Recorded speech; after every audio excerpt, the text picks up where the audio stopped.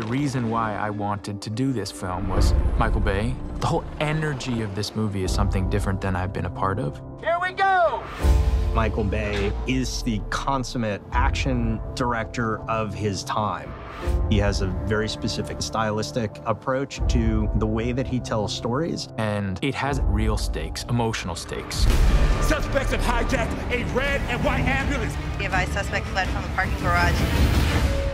We meet Will. He's a veteran, and his wife has cancer and desperately needs this experimental surgery that the insurance will not cover. Danny has lived in a life of criminality, and he's also needing money in a different way.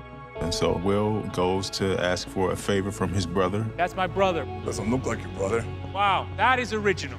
Will is adopted, but they have a real brother relationship full of all the messiness and violence and love. He hasn't seen his brother for a long time for the right reasons. I will do anything for you, and all I'm asking is for you to do this one little thing for me. But at the end of the day, love makes you lower your standards. And now you're here asking me for help, and what am I giving you? I am giving you the world! Danny's getting what he's always wanted, which is his brother back. Let's go, D. Don't shoot a cop! Plans go awry, and they find themselves hijacking an ambulance. I'm gonna need you to help us. Why don't you help us? I got a cop shot. I gotta get him to the hospital. We don't get to see that a lot. You know, we don't get to see a female character make a decision between her own life or others. You need to help me. Go help me help the cop. I also really liked this woman at the center of a story who just doesn't take crap from anyone. Get the defib pads. Right chest, left ribs. My right or your right? His right, moron. The power dynamics consistently changing. Because keeping the police officer alive is their only way to not get immediately killed by LAPD. Do you have EMT experience? Combat triage. And everything just becomes wild really quickly. I don't know what happened. It just started beating. He's about to die.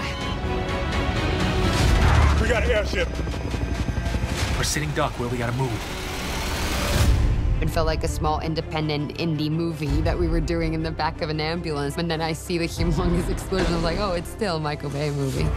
Working with Michael Bay, it was just wild from the first day. I want the helo to come in from up here. He likes to do practical shots. And you're driving at 80 miles an hour, shooting at a helicopter with another helicopter behind it, and I'm going, what's happening? We're not the bad guys. We're just the guys trying to get home. I gotta get back to my wife and my son. Does your wife know you're Rob Banks? Michael loves an enthusiastic actor who has ideas. He has a real reverence for actors. I think he really respects the process. These guys are nut jobs. In two hours, they're either dead or in cuffs. And it belongs in the theater, and I cannot wait for it to be in the theater. Will! Hopefully, they leave the theater sweating. Stop! You hear me? You're gonna hurt someone. We don't get to walk off into the sunset.